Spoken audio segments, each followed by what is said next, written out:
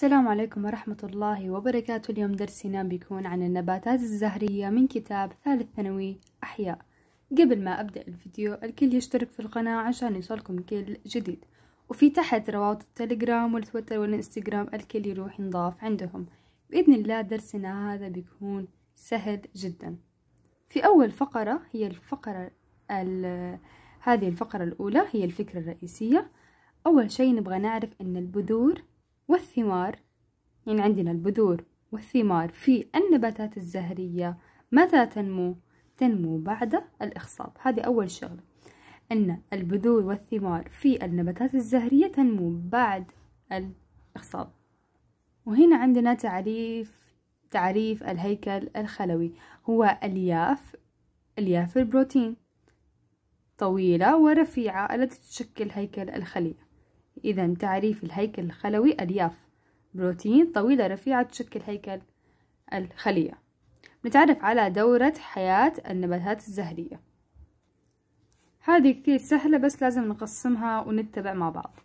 في عندنا كذا خطوة عشان نفسر لها. طبعا هنا في كلام وكلها تحت على هيئة صور. يعني لو انت ما فهمت الكلام بتفهميه بالصور.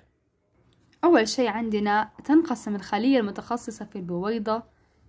هنا أول شي عندنا خلية متخصصة. هذه الخلية تنقسم انقساما منصفا.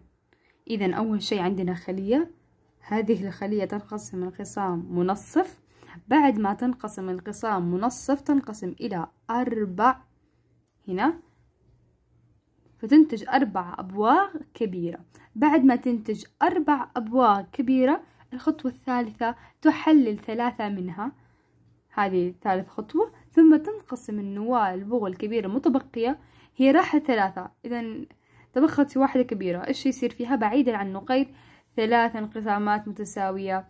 هذه ثالث خطوة. بعدين تنمو هذه الكبيرة وتصبح مكونة من خلية واحدة وداخلها ثماني النواة. هنا لخصت لك إياه في شرحي. أول شيء عندنا خلية متخصصة. هذه الخلية المتخصصة تنقسم إلى انقسام منصف إلى أربعة أبواغ فتتحلل ثلاثة وتبغى واحدة وتبقى واحدة كبيرة وهذه الكبيرة تبعد عن النقير. بعد ما هاي تكبر تنقسم إلى أربعة بعدين تتكون ثماني الكربلات يصير ثماني هنا عندنا نواتان منها مركز تسميها نواتان القطبين. هنا تتحول واحدة من النواة قرب فتحة النقير إلى البويضة. وهنا لازم نعرف أن النباتات عندها 12 كروموسوم. هذه مهمة جدا. وهنا في الشكل نلاحظ أنه وينها النواتين القطبيتين هنا وهنا خلية ال هنا. وهنا عندنا فتحة النقير. إنها شارح لك كل شيء. وهنا عندنا طريقة ثانية لما تكون في المتك. كمان لخصت لك إياها في شكل أسهل. هنا المتك والخيط. كيف تتكون حبة اللقاح؟ تنقسم الخلايا متخصصة انقسام منصف بعدين تنتج أبواق صغيرة تنقسم النواة كل بوغ بعدين عندنا هنا خضرية وتناسلية وهنا عندنا جدار سميك وتحتها جدار رقيق. وهنا عندنا الإخصاب المزدوج إيش يكون؟ عندنا نواة ذكرية واحد ونواة ذكرية ثنتين هنا النواة الذكرية الواحدة زائد البيضة الواحدة. تساوي لنا اللاقحة الطور البوغي الجديد 2n هذه اكتبيها عندك عشان تسهل عليك الحفظ. ثاني شيء عندنا هنا نواة مركزية الثانية زائد هنا القطبة القطبيتين. تساوي لنا نسيج الاندورسيوم هنا 5n وهذه هنا مهمة جدا. عندنا حبة اللقاح كيف يكون شكلها؟ ارسميها عندك. وهنا نحط الخضرية. وهنا التناسلية وهنا الجدار السميك وهنا الجدار الرقيق. وهنا لما يكون عندنا عمليتين إخصاب في بويضة النباتات الزهرية إيش نسميها؟ بإخصاب مزدوجا. ننتقل إلى نتائج التكاثر. هنا يقول إن الإخصاب المزدوج إيش يطلع منها؟ يطلع أنسجة ثلاثية المجموعة الكروموسومية. وهنا عندنا الاندوسبيرم. عفوا هنا نقسمها عشان نعرف نلفظها أسهل. طيب ال endosperm. ال endosperm هي نواة ذات فلقة واحدة فقط ومكون أساسي للبذرة. إذا الاندوسبيرم هي ذوات فلقة واحدة. هذا أول شيء نعرفه عن الإندوسبرم ثاني شيء إنها المكون الأساسي لهذه البذرة. وهنا ذوات الفلقتين تمتص الفلقتان معظم نسيج الإندورسيوم. في أثناء نضج البذرة هنا أثناء النضج يصير هذا الفعل.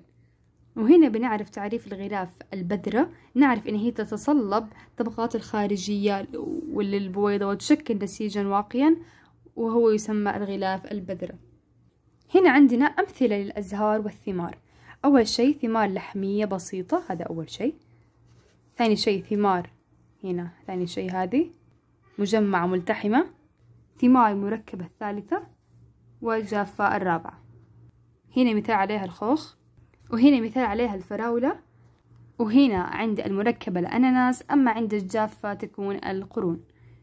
وهنا الثمار اللي تجذب هذه الحيوانات إليها تستطيع أن تنتقل بذورها مسافات أبعد عن نبات الأم لأن يمكن تلتصق بالحيوان. هنا يمكن أن تدفنها أو تخزنها أو لا تأكلها حسب يعني. وهنا الطريقة يعني مو ضرورية. النبات الإنبات البذور. هنا تسمى عملية بدء نمو الجديد جنين يعني يسمى الإنبات. وعندنا عوامل تؤثر فيها وهي الماء والأكسجين ودرجة الحرارة.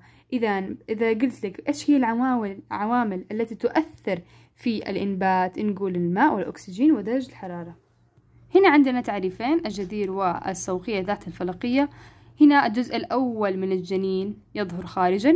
نسميه بهذه الطريقة. أما الثاني الساق الأقرب إلى البذرة هي زوقية تحت الفلقية. وهنا هي الفترة التي لا يوجد فيها نمو إطلاقا هي الكمون.